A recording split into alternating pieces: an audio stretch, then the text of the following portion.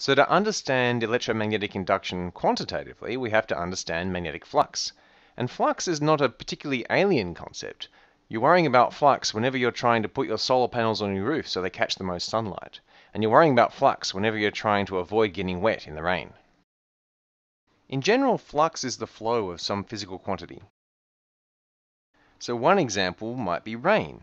Rain comes down, it comes down in a particular direction, and it comes down sometimes different directions in different places, and also different amounts in different places. So you might have a bit where it's raining heavily and hard and going in that direction, and then a bit where it's raining quite lightly and more straight down.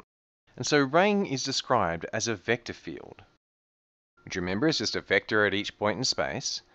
And what are the units of this vector? Well, it's a certain amount of water, which I guess we'd measure in kilograms, the SI unit, per second, per square meter. So if we have a football field, we'll gather more water than if we have a small glass.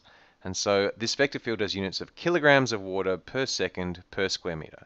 So if we wait for an hour, we'll get more water than if we wait for one second. So the other example we talked about was sunlight. Now sunlight comes in pretty uniformly at a particular angle. If we're out in space looking at a really big scale, it would of course be spreading out in all directions but down here on Earth it comes in pretty evenly. So that's also a vector field, and what are the units of that? Well, sunlight gives us energy, so we have a certain amount of energy, and again we have a certain amount of energy per second and per square meter, which is also the same thing as a watt per square meter. So you might be trying to catch all this rain into a rain tank so that you can avoid the horrible drought coming up. Or you might be trying to catch this sunlight on a solar panel so you can free yourself from energy costs. Or you might be trying to find out how much magnetic field is going through a loop of wire, or possibly even multiple loops of wire. So the total flux going through each of these three areas is going to depend on a few things. It's going to depend on the strength of the vector field. So if you have more watts per square meter, you're going to get more energy coming through. If you have more kilograms per second per square meter, you can have more water coming through. And if you have more magnetic field, you can have more magnetic flux coming through. Secondly, it's going to depend on the size of the area. The bigger the area, the more flux you're going to have coming through.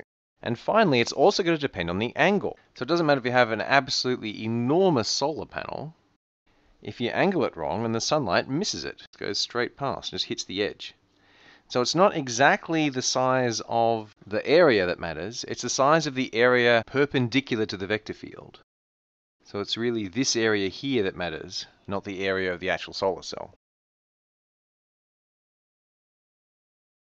So the magnetic flux through the coil is usually defined by the symbol capital phi, and it's just equal to the magnetic field times the perpendicular area. Now, if the magnetic field changes direction through your coil, then you've got a more complicated thing to do because you have to break your area up into little pieces of area such that you've got a piece of area so small that the magnetic field is basically going in a constant direction, and then you can calculate the flux through that little piece of area, and then add up all those pieces of flux. But we won't do things that are that complicated in calculation. So coming back to electromagnetism, remember that what Faraday found was that current was generated by a changing magnetic field. And after more detailed experiments and analysis, it was found that the electromotive force, in other words, the voltage around that loop, was equal to the rate of change of the magnetic flux. And so we used the capital delta to describe a change as before, and we use the B to denote the magnetic flux. And so you've got this delta phi over delta T. That's the rate of change of magnetic flux. And so that voltage will be applied to every loop that we have in this coil. And so if we have multiple windings of that coil, we're going to get that voltage for each one of them. And so the total voltage is going to be just the number of loops times the rate of change of magnetic flux. And that is now known as Faraday's law.